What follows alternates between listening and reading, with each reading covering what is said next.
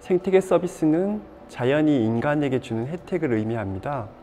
그 혜택이 다양하기 때문에 우리는 공급 서비스, 조절 서비스, 문화 서비스, 지지 서비스로 나누어 설명하고자 합니다.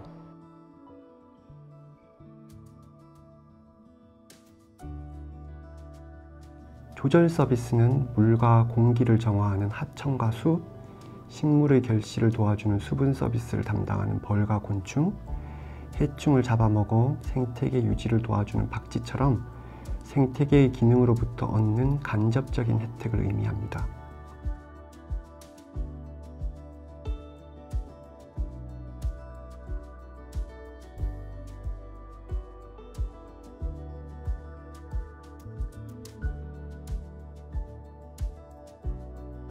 문화 서비스는 인간이 생태계로부터 얻는 비물질적 혜택으로 사람들이 체감하기 가장 쉽고 광범위한 혜택입니다. 자연에서 느끼는 휴식과 치유, 문화예술적 영감, 관광과 문화유산, 미학적 가치 등 무형의 가치를 제공하는 서비스입니다.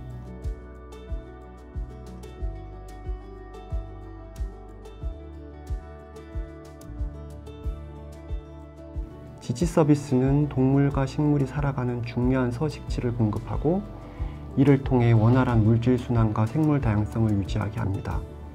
우리나라의 경우 하청과 산림의 중요 생태계와 함께 대체 습지로 자리 잡은 농경지의 기능도 매우 중요합니다.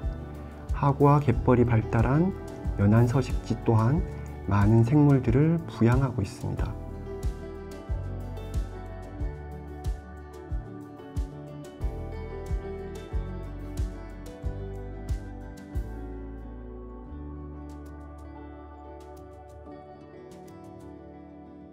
지도에는 구체적으로 자연이 우리에게 어떤 다양한 혜택을 주는지 주변 어디에서 얼마만큼의 혜택을 누리는지를 인포그래픽과 연구 결과에 바탕한 지표들로 알기 쉽게 생태계 서비스를 설명하고 있습니다.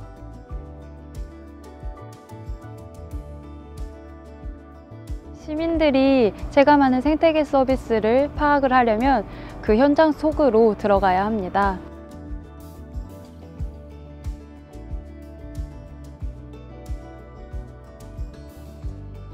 지역 환경에 관심이 많은 활동가와 환경 관련 업무를 수행하는 공무원, 그리고 생태계 서비스를 전문적으로 연구하는 다양한 분야의 연구자분들을 모시고 이론 교육과 현장 실습을 실시하고 있습니다.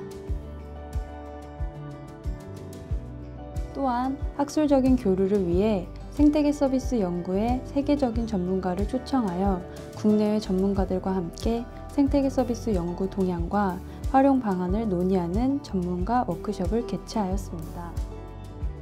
국립생태원은 생태계 서비스에 대한 인식 증진과 저변 확대를 위해 많은 노력들을 기울이고 있으며 다양한 교육과 현장 학습 활동들을 지속적으로 지원하고자 합니다.